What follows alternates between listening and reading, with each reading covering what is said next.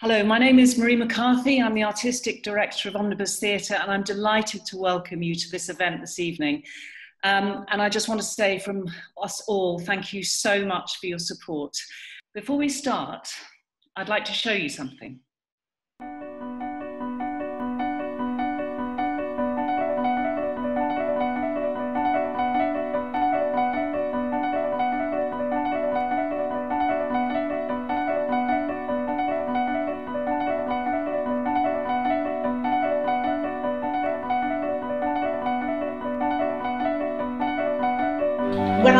Girl, I used to go to the library and read all these poems and the books. This is this is where I began to be a person in a library. So that's why I so desperately want them to keep this building and, and make it where we can have evenings like this and there can be exhibitions and music and we can be a, a community which doesn't have riots. We have good times. And the hip hop hap of the clap of the hands to the twirl and the swirl of the girl gone chancing, glancing, dancing, backing and advancing, snapping of a clapper to the spin out and in, and the ting tong tang of the guitar. This is my local library, and so of course I'm desperately anxious that it stays as a place where the imagination is fostered. I know the council are going to put the book somewhere else, but this space is a great space. She was very sympathetic. I have to admit she was nice, but short of hoping we keep the windows wide open and the fire on full blast and breathe shallow and fast. she was very short of advice. There is a local group who are fighting to preserve this place, and they're called Omnibus because of the Clapham Omnibus, the famous man on the Clapham Omnibus. And that's all of us who live here. We're part of it. So it's not something that's been imposed from above. This is the grassroots people who live here crying out for a venue, an arts venue for ourselves. We've got one, we want the council to let us stay here and have fun and make it work and nourish our imaginations. Six o'clock the burnt out ends of smoky days. And now a gusty shower wraps the grimy scraps of withered leaves about your feet and newspapers from vacant lots. The showers beat on broken blinds and chimney pots, and at the corner of the street, a lonely cab horse steams and stamps. And it must remain in the community for us to use and enjoy we could have music here and exhibitions, lectures, discussions. This is exactly what is needed. We haven't got anywhere like that. So for goodness sake, please, let's have it. The little word. Hey, Mrs. Corby, the one little, little word. My blessed corner.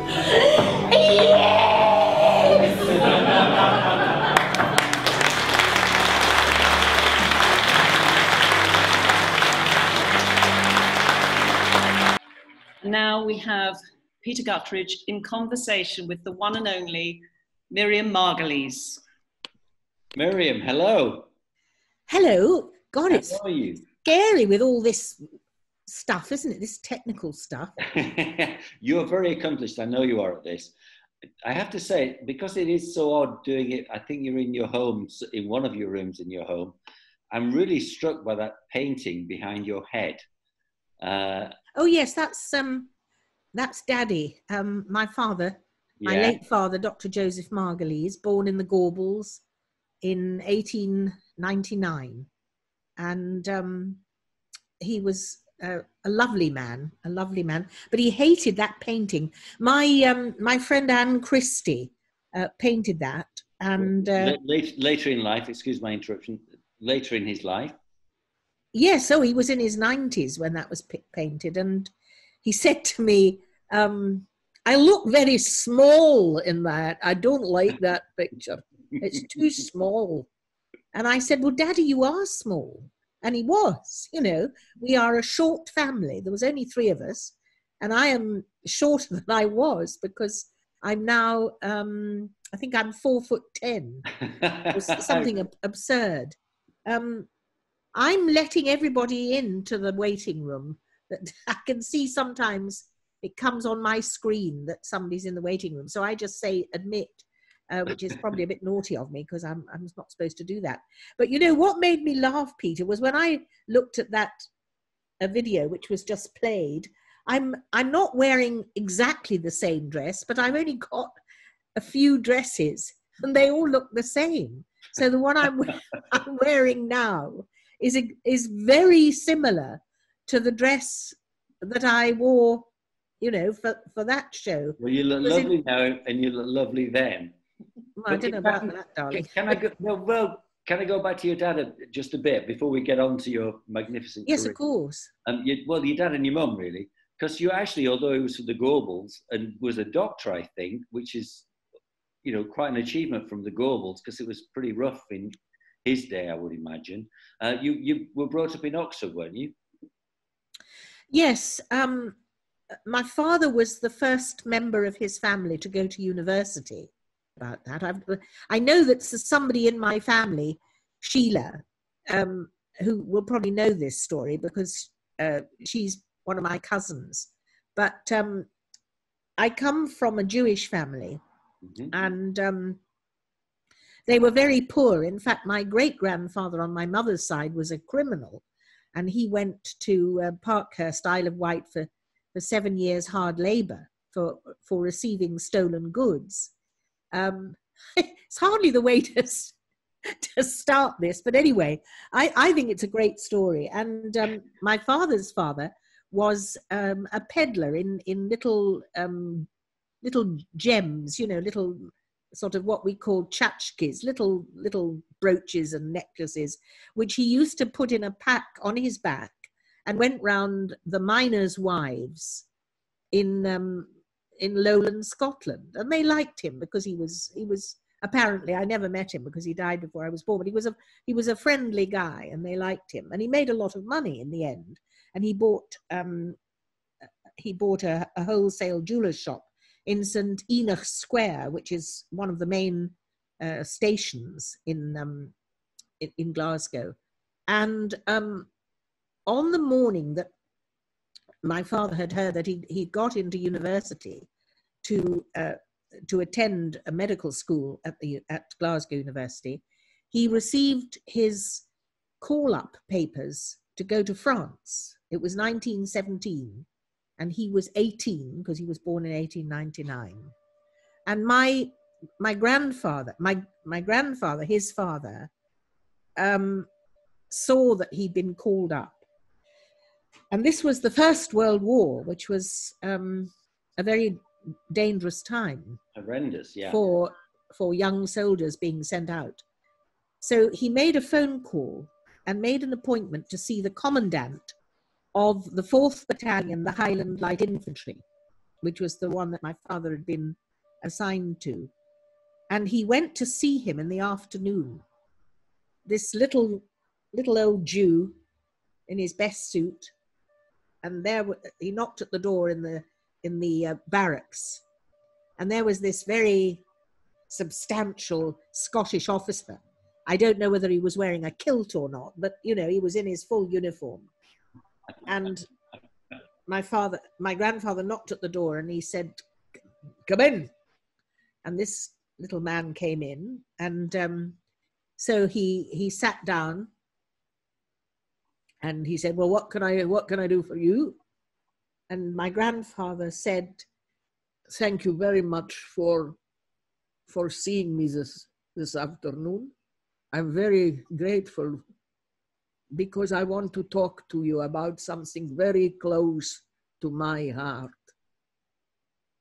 And I want to explain to you that today my son, my firstborn, Joseph, he received the call up papers for your regiment to go to France. And you know, and I know that it's very dangerous. You know, and I know that the young officer will maybe last six months in, in France. But for sure, he will not come back. And this is my firstborn. And he is going to be a doctor because they were very proud of that. So I'm going to ask you for something. But if I ask for something, also I must give something. So they, the soldier, who was probably, you know, a major or a captain, he said, "Right, well, what is it you, what is it you wish to ask me?" And he said, "I want to ask you for the life of my son. I want to ask you, please, to take my son's name away from the draft. I want you to let him continue his studies at Glasgow University. Please. But I don't ask without also giving.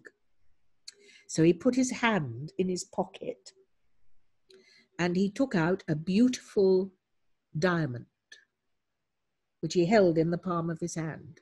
He said, This is not flawless, but so nearly flawless. it is the most beautiful diamond that I have in my warehouse.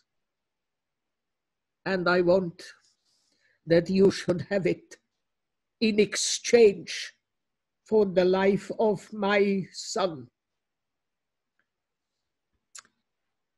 And, you know, when I tell this story, I usually say to people, and what do you think happened?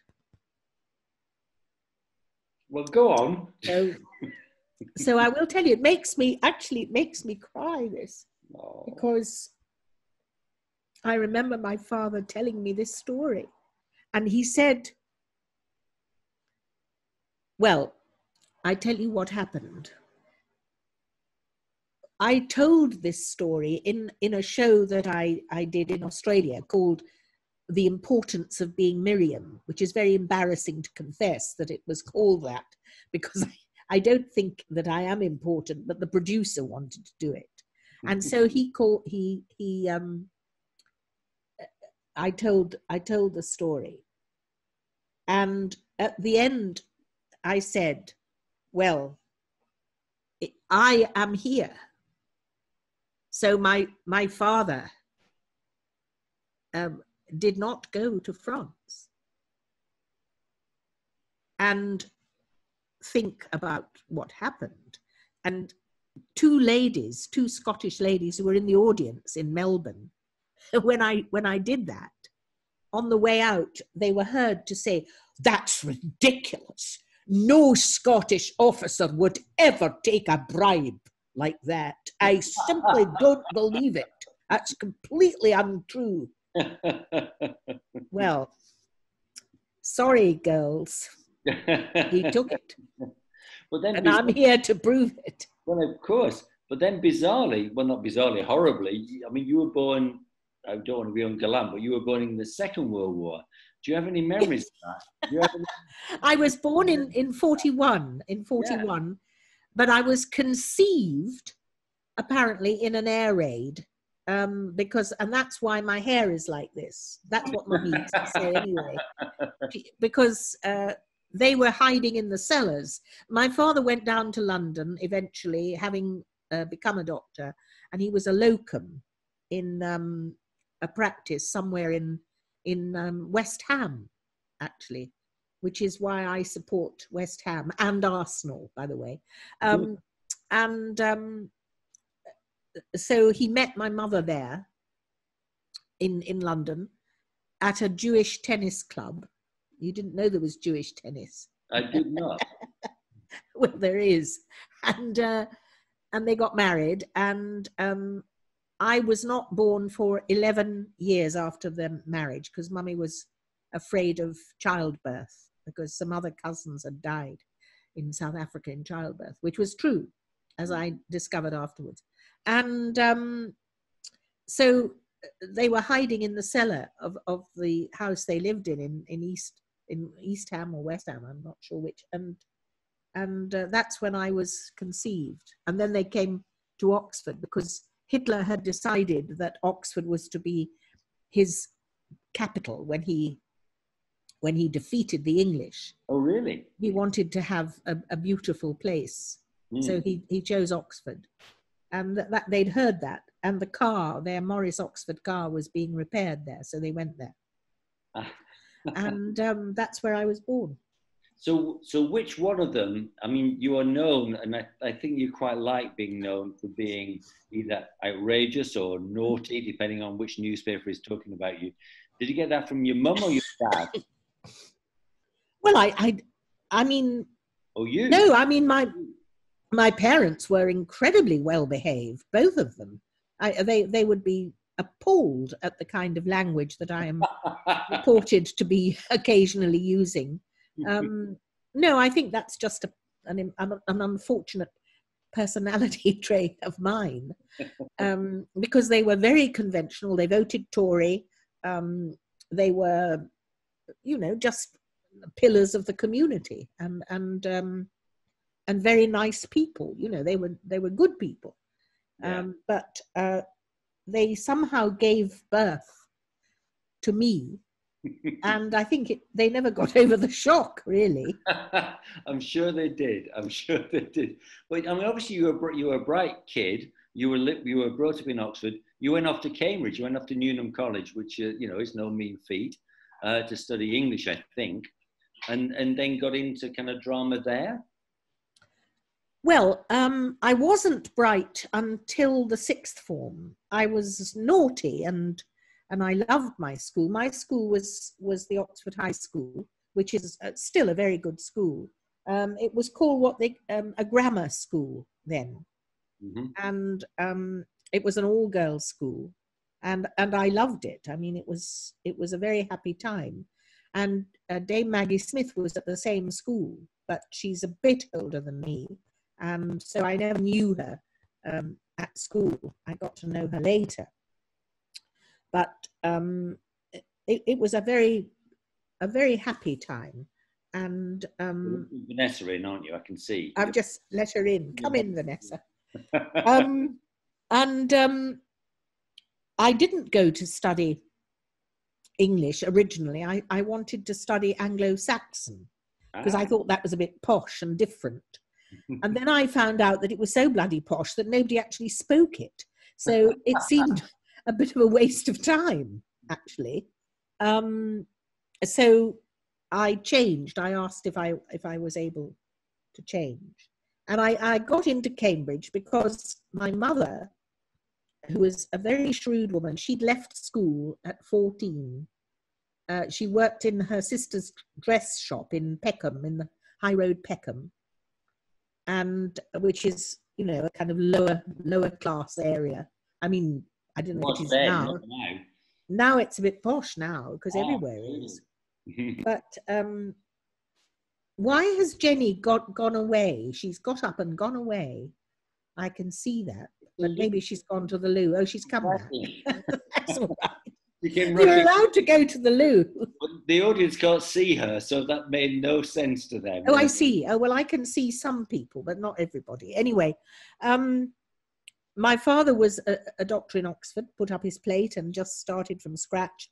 And one of his patients was Sir Isaiah Berlin. Oh, really? Wow. Who, yeah, who was at that time one of the great public intellectuals of England. Yeah. And um, he was my one of my father's patients because Daddy spoke Yiddish, and um, Isaiah Berlin's parents spoke Yiddish and they had come over with him from Latvia. And um, uh, dad, mummy said to daddy, uh, why don't you invite Isaiah Berlin to supper? And he, he can sponsor Miriam going to university. And he said, don't be ridiculous. You know, he's a patient. I'm not, I'm not going to ask him to supper. That's out, outrageous. She said, Joe, ask him to supper. And she was very forceful, was mummy. And so in the end, he did come to supper. And he was a lovely man, I mean, just adorable.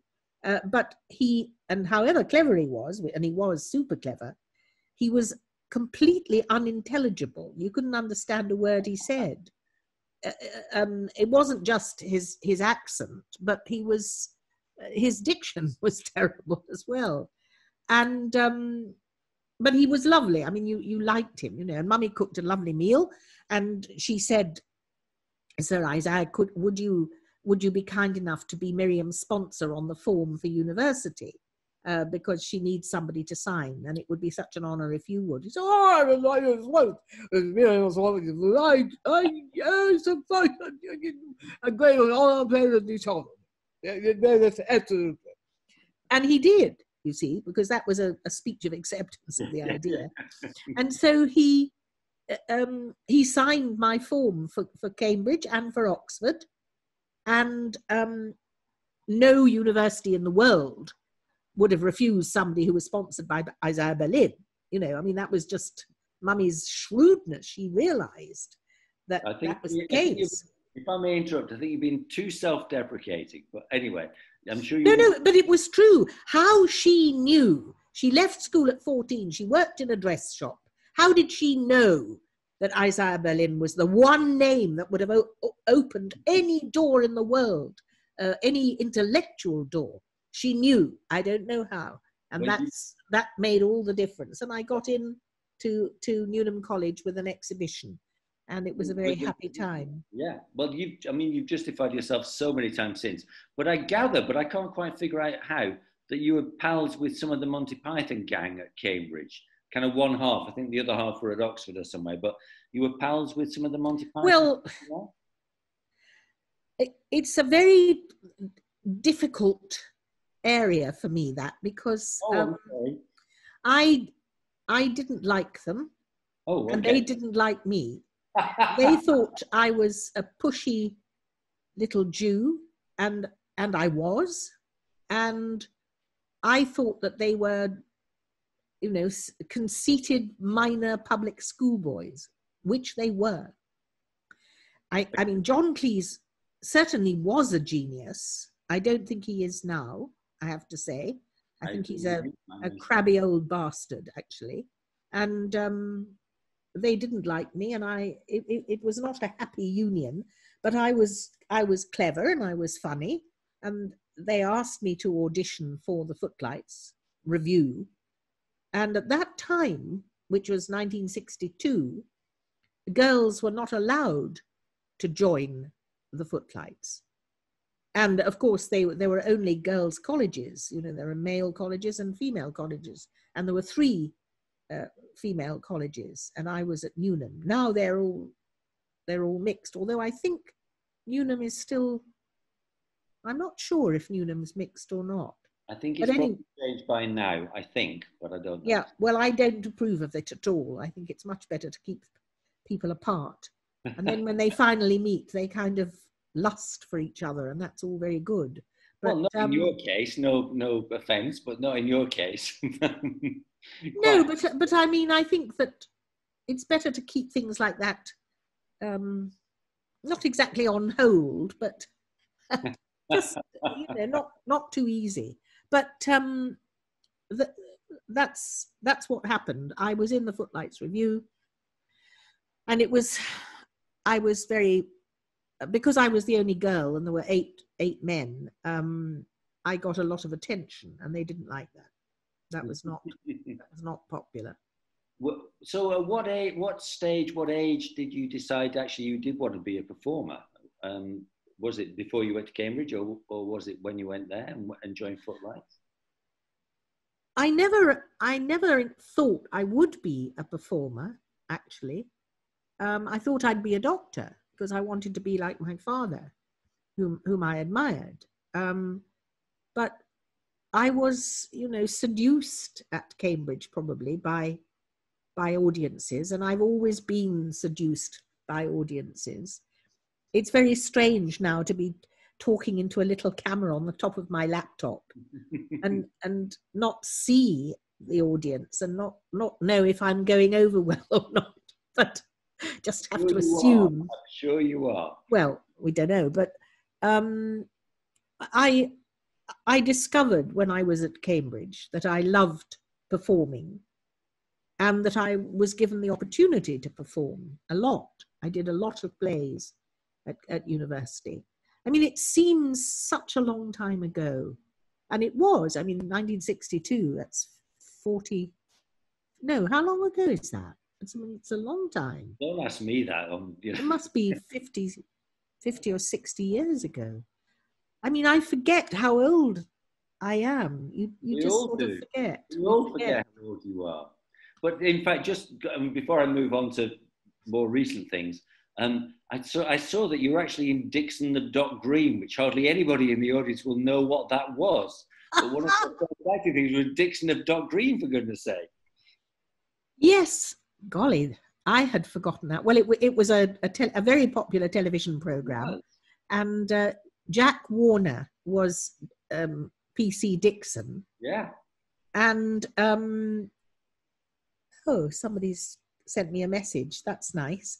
Thank you, Christine. Um, I I remember um, meeting him and his sisters. He had two sisters who were on the halls called Elsie and Doris Waters. Yes, that's right. Because his real, I think his real name was Waters, but he changed it to Warner yeah, yeah. and I I was very fond of of, the, of them as performers. And um, Mummy and Daddy had a little house by the sea uh, near Broadstairs in a place called Kingsgate, and there's um, a lovely street going down to the sea called Percy Avenue, and we had a house in Percy Avenue, and they lived in Kingsgate as well. So.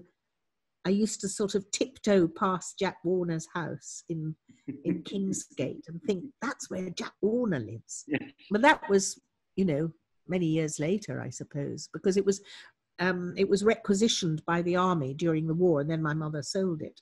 But I've always had um, a love of East Kent, and much later on, I bought um, my gun emplacement, which is I know. the nearest house to France on the coast. And that's why you're known as Miriam Escobar. Uh, yeah, that's right. Oh, somebody's telling me that it's still all female at um, at, at Newnham. So I'm hooray! Oh, okay. Counts forever. That's good. Absolutely, absolutely. So yeah, so so you you rented out your your place in uh, in in Dover, the further the nearest place to France, to a drug baron, essentially. Well, I didn't know they were, of course. I know. Well, Um, say that, but because um, yes, the the Daily Mail um, really uh, don't they don't like me because I'm on the left politically, which is fair enough, and um, they they called it the White Sniffs of Dover when they when they were reporting it. well, that's quite good, But- I really did not know that they were that they were drug dealers, and I was very astonished to learn it. Uh, but I did ma- I did tell that story on the Graham Norton show. I know. I got lots of bookings as a result. uh, I I sold all the all the um, weeks of the year, and then blow me this I bloody don't COVID. blow you is the right term when it's talking about cocaine, actually. Uh, Yes, well, I've never, I've, uh, I've never had cocaine uh, at all. I've never been a drug person. well, you had 13 million pounds worth of it on the roof of your of your house. That is correct. That is correct. but I wouldn't know it if it got up and bit me because I don't know what it looks like. I mean, for me, the, the great drug is chopped liver. That's the thing I love. And it's one of the problems of living in South London, and I do love South London, um, is that you can't get chopped liver here. Uh, so I, I have to rely on neighbours schlepping over to Golders Green and um, bringing me back some chopped liver because I, I do love it. Well, I'm sure they're willing to do that. I've, I've scarcely touched any of your life. We've got about four minutes before I'm going to go to questions from the audience. But um, so I want to talk about how busy you are now. I looked on IMDb, the, the kind of film site, and you've got about three films in post production. You've got the, a thing called The Soul Man. I can't read my own writing here. The Soul Man, you've got a short called Wings, you've got a short called Ethel, you've got a, a bit of The Windsors, and of course, you're doing this Miss Fisher thing. uh, in Australia? Because you work in Australia a lot because you've got a, a, place over there and you're very fond of Australia. Well, my partner is Australian, and yes. that's why I became Australian. And I would just like to draw to everyone's attention the fact that my latest documentary, which is a three part documentary called Miriam Margolyes Almost Australian, yes. is going out on BBC Two on Friday, the 24th of, of July at nine o'clock. And it's a very good series. There are three programs, and I'm very proud of it. So I hope you'll all tune in. Well, I've read about you, what you've said about that, and, and you've explored areas of Australia you didn't know, and you've, you've talked to lots of First Nation people, and, uh, and, and you found it an eye opener, I think. Um, yes, well, we all, I mean, we all of us live in our little bubbles, um, and we don't meet people outside the bubble and I don't, I didn't know any First Nation people. That's they like to be called First Nation rather than Aboriginal, but you know, I, I'm used to calling people Aboriginal. Anyway, I, I didn't know any, and I insisted that I I met some Aboriginal people and families, and I I did in this in this um, uh, program, and it was a it was an amazing experience. Well, we all look forward to that. So that's the 24th of July, did you say? Yes, Friday night. Uh, if you're if you're not if you're Jewish, you probably won't watch it. But if you're not Jewish, there's no excuse not to watch it. now, just two, two, quick questions. Is it true that you're on University Challenge at Newnham College uh, and you swore, as per you? Well, it, it is true that I did say fuck, but not in sound because when it was put out and they saw me, I went, and it was clear what I'd said, but but it was actually not. Um, it was beeped out, but not with a beep. It just wasn't. It wasn't broadcast. I'm not proud of it. It's just rather an interesting thing because that was in 1962. That was when I was. That was early. That was early for those for those words to appear. Yes, yes. Yeah. One of the problems about doing these kind of chats is that I'm talking about myself all the time, and normally, you know, that is uh, considered very impolite. Um, and and I feel that I should be asking you questions. Well, you know, because I just remembered when I saw you and Greta Scacchi together that you are lovers, and I'd forgotten that. Um, so that's very interesting. Um, well, I'm sharing that with the exactly with the world, which was meant to be discreet. But okay, moving on. Are you married or just living together? We're not going to talk about that. We're going to oh, talk. Oh, okay. We're going to talk about the play you're going to be doing shortly with Amit Shah, which is uh, a follow-up to well, not a follow-up because it's no, no, in no way linked. But you're doing something with the company that did Birdsong so successfully uh, just recently. Yes, it's it's a Zoom film, and um, I I don't know how it's going to work, but anyway, I've, I've I've got the script. I'm just learning the script now. We're going to film it next next weekend. And you like the idea of doing this a Zoom film? Um, I'm a bit nervous. I'm nervous. I'm all, I'm I'm always very very nervous about doing anything really. Um, I don't know how I agreed to do this. It's just that I love the omnibus so much that I felt I, I had to try and you know raise some raise some money. So I'm very grateful to the people who are who are there now. You've done this magnificently, and I've scarcely scratched the surface of your career at all. You scratched my surface, and it was lovely. but I'm going to go now to questions from the audience, if that's good. Oh, right. Okay. There are 12 of them, and we've got about 20 minutes. So I don't know what your maths are like, but we need to kind of not do too many, uh, to spend too long on each one. So the first one is, what was it like playing Nun on Call the Midwife? It was wonderful to be on Call the Midwife. I, I play uh, now the character called Mother Mildred, who is the Mother Superior. Uh, it isn't easy because the habit you have to wear is very uh, complicated and heavy and you and a wimple covers your ears so it's quite hard to hear sometimes so everybody has to just speak up and when we were doing last year the uh, christmas episode which was filmed in the outer hebrides the weather was shocking and we were totally soaked and to be in a dripping wimple is no joke, I can tell you. But the the people in it are wonderful. It's a very happy company, and I'm uh, looking forward to, to rejoining it when, when we're able to. And um, that was sorry. That was that was a question from Claire Axton. Sorry, Claire, I didn't uh, say that at the time. Uh, Julia Mortimer's got a question. They've recently been watching the the the Miss Fisher things. Oh, uh, yeah. And Prudence, how is that working out for you? Well, that's over now. Um, that was filmed in Australia. I think I did three series of that, and the film, which has just come out. And it was wonderful. I mean, I had the best time. And Essie Davis, who who plays Miss Fisher, is is a brilliant actress and a very very nice woman. And we went to lovely locations, and I wore amazing clothes. Um, and it was a very, I mean, nearly everything I do, I feel grateful for and I and I did love that. It was great fun. Yeah, yeah, yeah. Okay. And Andrew McIntyre uh, says, apart from the great "Get It" uh, thing in Blackadder, um, how did you remain stony faced whilst making Blackadder? Well, it, oh, darling, it was a long time ago. I, I it was I was still very, very nervous um, of, of, doing stuff, and um, Oh, somebody's asked me what brought you to Clapham. I'll tell you in a minute. Um, and uh, rude. We've got the questions here. okay. Um, I'm joking. I'm joking. You can do whatever you want.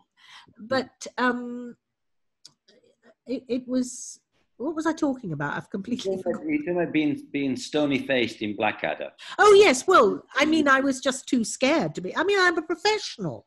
You know, when you're doing your job, you're not you're not laughing we thought it was funny and it is funny and i love seeing it again but i don't watch myself. I, I never watch myself. That's so have you never have you never corpsed as, as they say in your business? Have you never corpsed? Oh yes i have corpsed but not watching myself. I mean it's you corpse because of what other people do not not because of what you do. Right. Um oh no i i find i mean it's but you you shouldn't. It's not professional to corpse it's not fair on the other. It's not fair on the audience who paid for tickets. Yes. So, um, Patricia Goldberg's got a more serious question about you visiting America and talking to lots of Middle American people, and uh, she wonders what you think of the current situation. And uh, in America, yes. What do I think? Well, what does everybody think about it? It's a fucking nightmare.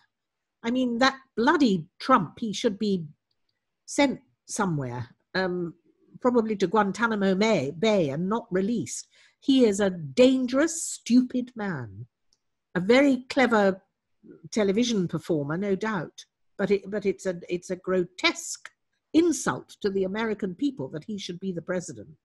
And they think it's a democratic country out there. Well, it isn't. It's nonsense. I, I feel very strongly about that. i feel very sorry for Americans, actually, that they have to put up with that. I'm not going to ask you what you think about Boris Johnson because we know that, and and uh, well, I have to be very that. careful. I mean, I don't, I, I, uh, I don't want him dead. No, you said not want him dead. I do not want him as prime minister. That's I know you said that at the time, and for some reason, people didn't get the second bit of your thing, you know. Uh, but anyway, we won't go there. Um, now, Angela Maxwell, I'm going to come back to your story, to your question, because I can't quite read it. But uh, Sudi Pigger asks, what is your ultimate comfort food?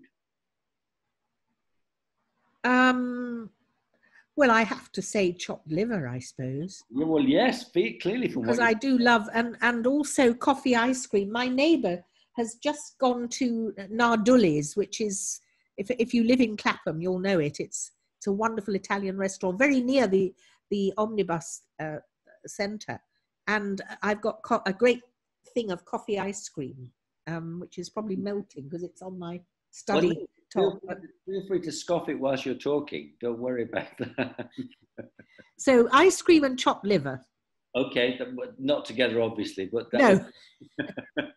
if you want to answer that other question that got sent into you. Yes, what, uh, what brought me to Clapham? Well, my friend Peter Lavery, uh, I lived in Gloucester Terrace in in um, well, my mother used to call it Bayswater, but it's actually Paddington and uh, W2. And um, when I was living there, he said he lived in Clapham, and he said there's a house round the corner in a street called the Chase, and I think you ought to have a look at it. It's a lovely, it's a lovely house. So I went over to Clapham, which at that time was, you know, people just didn't live in Clapham. It was, it was an embarrassment. And um, I saw the house and I loved it. I, I thought it was a beautiful house. And I had a, a friend come round who was in property and I asked him to look at it and tell me what he thought. And he said it's a good, solid house. So I went to the estate agent who was in Streatham, and I said, um, I'm going to get a, a surveyor. I'll get a surveyor's report, and then I think I'll get to put in an offer. And he said, he said, look, I, I know you won't believe this, but somebody who's been to see the house is bringing his surveyor this afternoon, and he is going to put in an offer if it's a if it's a you know, if, if, if the surveyor's report is good. And there was a pause, and I thought to myself, I'm not going to let this person get that house. I want it. So I said, Right, in that case, I will buy it now. And he said, Well, what do you mean you'll buy it now? You haven't, you haven't had a surveyor's report. I said, I, I know enough about property because my mother was very good at that sort of thing. Uh, she had lots of houses um, when she came to Oxford. That's what she, how she made, you know, daddy didn't make any money. It was mummy that made the money. And uh, I said, I'm going to buy it. I'll give you a, a check for 10%. And I bought this beautiful house, which is, which is five stories uh, in the best road in Clapham, the Chase. Never mind Crescent Grove, that's for prostitutes.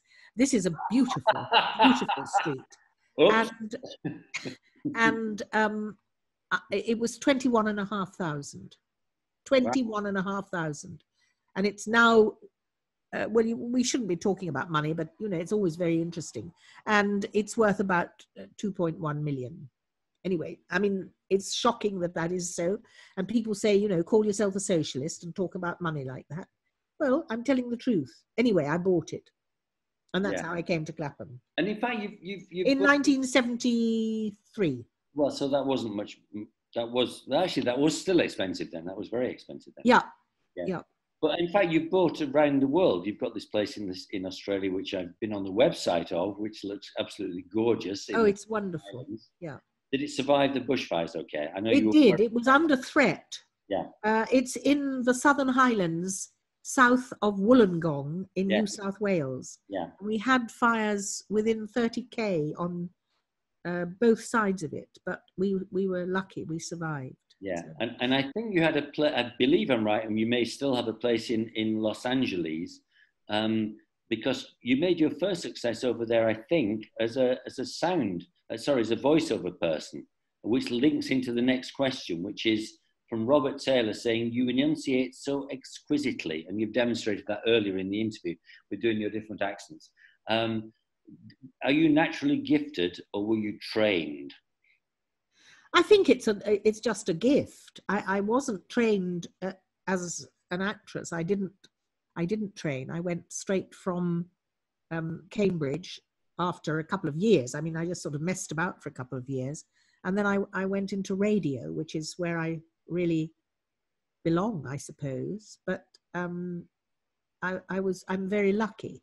I'm very very lucky that looking as I look and with the figure that I don't have, I made a living. And I'm extremely grateful for that. And really as I said earlier, you're still working a lot. I mean, I am, st- I, I, am still working. I haven't been found out yet. Uh, but no, it's I've been, you know, I just am lucky. Some people are lucky. I know, I know other actresses who are just as good as I was, and and and they just didn't have the luck that I had. It's luck. No, you've got a great presence. You know that. You've got a great presence in whatever role you do. Um, I've got gifts. I have certainly got gifts, but it, our profession is a cruel profession, and you need a lot of luck as well. And I, I had it. I had it. Yes. Okay. Tricia says, "What did you want to be when you were growing up?" Well, I wanted to be a doctor when uh, when I was a child, but um, I now just want to keep keep going as long as I can. I'm I have health problems. I have a very weak bladder, so that if I want to go to the loo, I really want to go to the loo. You know, I can't, I can't, as they say, piss about. I've got to go straight there, and um, that can be a nuisance if you're in costume. I mean, for example, being the Mother Superior, there's all these skirts and things you have to lift up, and it, it takes time. Um, somebody wanted to know who I've enjoyed working with the most. Oh, I think I think Eileen Atkins uh, is somebody that I absolutely love and worship. I mean, she's just a great actress. She's she's in um, Doc Martin. She plays the the older lady in Doc Martin, and she's just fabulous. So I would say that she's the person I've enjoyed working with most. One of the short films you've just done, I, I see Virginia McKenna is in it. I know we pay we play a couple of old lesbians. Oh, really? Which in my case is no no stretch at all. but I think it's a, a considerable stretch for, for Virginia, who is an absolutely lovely lady, real yeah. beautiful person, just just lovely. He's always come across like that. Um, okay, this is uh, um, Ken Russell, but I hope not from the dead. This is a different Ken Russell, I assume. Uh, personally, I love that you don't I use the censor button and that you speak honestly. Um, but have you always been like that? Yes, Ken, I have always been like that. I I don't seem to observe the the filters that other people have, and it means that sometimes things pop out which perhaps would be best unpopped. But that's my nature, that's my personality, I suppose. And I don't I don't always do it to shock. I mean sometimes I do because it's it's fun when you see people's mouths drop open and they think, did she really say that? And that's that is kind of fun for me. But I don't I don't do it always for that reason. I, I just do say things and ask the sort of questions that other people don't seem to ask. and the final question uh, from the audience from Julie Moore, but I think it's time for me to ask you a couple more, is if you were given three wishes by a genie, what would they be? Well, if I was given three wishes, uh, I would like a strong bladder, another another foot in height, and um, that'll do. I don't need any more. That's it. Was it? Has it been a problem for you in your life not being as tall as, as maybe other people? No, I don't. I don't think it's been a problem, but it's irritating because, you know, wherever you go and stay, the the cupboards are always too high up. and I'm stretching for a for a plate or a jug or something in my in my kitchen cupboards. I do have stools that I can stand on all over the place, and, but you do feel a bit of a you know a bit of an idiot. And when you were younger, did you spend your time in high heel shoes? I'm sure as you got for older, a short time, I wore high heeled shoes when it was fashionable, but now I only wear the trainers um, from New Balance. New Balance trainers are the only ones that I wear because they're wide enough, and I've got very very wide feet. Thank you for sharing that. Um, given that you're, you're, I think, I believe I'm right in saying your partner lives, your Australian partner lives in the Netherlands, I think. Yes, uh, yes, she does. You've got a place in Australia. You've got a place in Tuscany, which we haven't talked about. Uh, and you've got. Oh, it's available for rental. I'd like to just point that out. it sleeps ten, and it's they. It's a thousand pounds a week, right through the year. Whereabouts? it's beautiful. Whereabouts in Tuscany? Near Siena. Very nice. Okay, what I was gonna what I was gonna ask was, are you getting COVID crazy? You being stuck in your house in your beautiful house in Clapham? Are you wishing you could be travelling to one or other of these places? Oh well, I think yes. I, I'm I'm actually lonely because my my partner isn't here. She's she's um, you know what do you call it sheltering in in Amsterdam. She's right. Yeah. And um, Oh, good. I'm glad you can rent my property sometime, Pam. Um, definitely. Um, I, I, uh, I, I do feel sad. I, I, my mood is very variable. Sometimes I burst into tears, and sometimes I feel despair. Hmm. And I, you know, I think when will it ever end? And and I, I my concentration is not great. I find I start a book, and I stay with it for a bit, and then I have to walk about or do something else. So I think it does have an effect. It's it's affected all of us. It's even affected Boris Johnson because he even more of a twat now than he was before he started. in a normal day when you're in Clapham, would you be wandering down the road to go and have a coffee somewhere? And no, well, yes, normal times. Yeah, yeah. Um, there was a lovely uh, French place on the Common which I used to love on the corner of Venn Street, but they sold it. Oh, really? And, um, I've, there is another shop there now, but yes, I mean, I'm a social animal. I love being with my friends, going out, going to the theatre, and the theatre is is in a terrible state. And you know that's why we have to do all we can to support the omnibus because they've done some fabulous things there, and yeah. it's a delightful theatre. It really is. And I think probably at this point I should ask uh, Mari. Maria to... come back in, I think. Yes, you're right. Thank you for your patience with me. Very oh, dear Peter, thank you for being so gentle with me. It was lovely. Don't be daft, it's been a delight. Uh, Marie, I don't know if you're uh, around. I think we're about ready for you. There's Mari. Hello. Off you go, Mari. that was wonderful. Thank you, Miriam. Um, I'm here sitting in the box office and I just wanted to show you all what we've been up to um, since Miriam helped us to save the building. So we opened in 2013 and here's a little video just to give you a flavour of, of what we've been doing.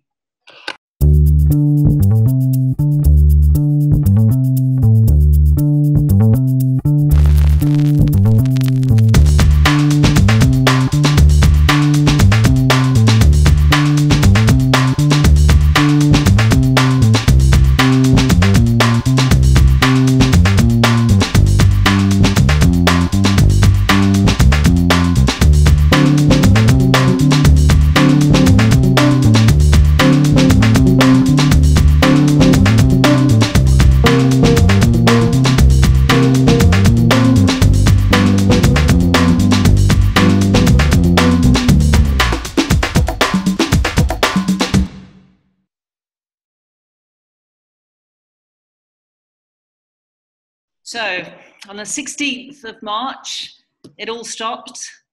Um, I cancelled 157 performances. We couldn't support our artists. We couldn't connect with our local communities. All the hires, the cafe bar that we'd recently refurbished, we couldn't launch that. Like all the theatres, like everyone's activities, all came to a halt. 80% um, of our team have been furloughed, and myself and two others have been working tirelessly throughout, trying to figure out what can we do. We needed to keep connection with our audiences, so we've been learning a lot about Zoom and about how to platform work, present work. So we have um, launched a, a festival online. We had a weekend's worth of work in response to racism that the East Asian community had faced in the light of this virus. And um, we got a we got pick of the week in the Guardian, and we managed to attract eight and a half thousand viewers. We need to keep contact with our communities, and I learned that there was a lot of seniors. This is via Age UK that seniors were suffering trauma, and they were concerned about post-traumatic stress disorder. So I managed to get some money thanks to the April Trust and we have a storyteller working on Zoom with 12 seniors from Age UK, and they're doing creative writing and sharing their experiences. We got a little bit of money from the Arts Council to help us to keep going. And in the summer, we're going to be launching six weeks worth of, um, of, of working with young people who are not getting food. They're suffering food security, and we're going to be doing drama with them. We'll be providing breakfast, mid morning snack, and lunches, and thanks to the Arts Society for that support. You might be able to hear some ripples of activity in the cafe bar. We just opened it last weekend. and I've been here trying to develop a new business. Um, people knew the cafe bar because of the theatre, but now we have to run it as an independent part of the organisation until theatre returns. We don't know when that's going to be. At this point, I'm going to hand you over to our chair, Fiona Mactaggart. Um, I'm sitting at the moment in the theatre in Omnibus. And as you can see behind me, it's dark and it's been dark for 119 days. And all that time, although you've just heard from Marie, all the things that we're doing despite not being able to operate that theatre, in that time we haven't actually had paying audiences, which are the lifeblood of what Omnibus does. And if we look back to our last day, I just thought, let's look at what we did on a normal day. And the final day, in on the 15th of March, we had the National Childbirth Trust having their regular meeting here. We had jazz at lunchtime.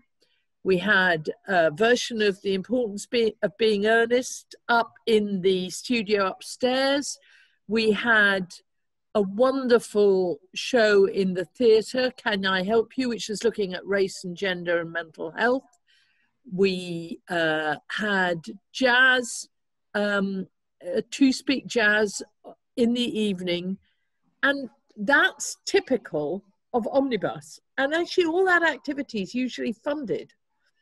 But in this period, we haven't been able to do that kind of thing. We haven't been able to sell tickets we have depended on the generosity of people like you who have paid what you can to be part of this Zoom and the trust which Marie has described, which has helped what we've done. But actually, we're broke.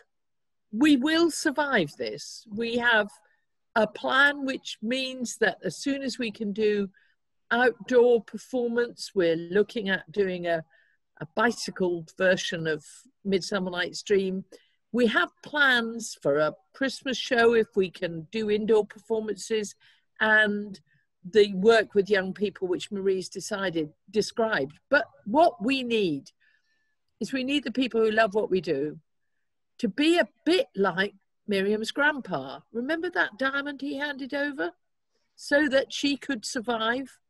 Well, if any of you have a wee diamond that you can hand over to Omnibus so we can survive, we would be very grateful.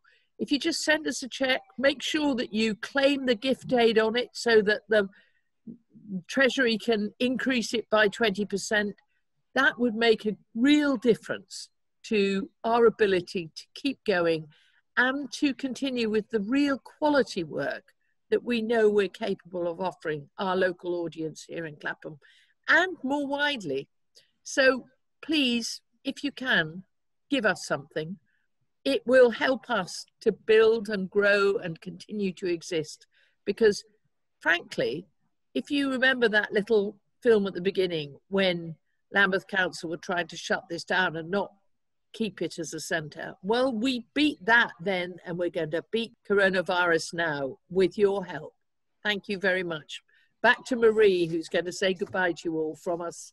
Thank you for being here. Thank you, Fiona. Thank you, Miriam, so much. Thank you, Peter. And I wish you were here so that we could just give you a proper clap. I hope it's not too long. Thank you all very much. And please come into our cafe bar.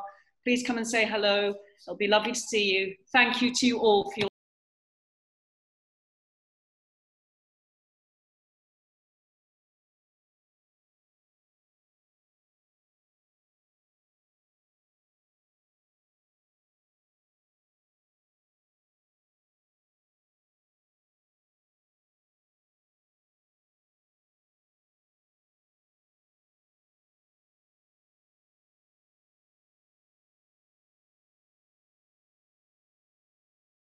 support. Good night.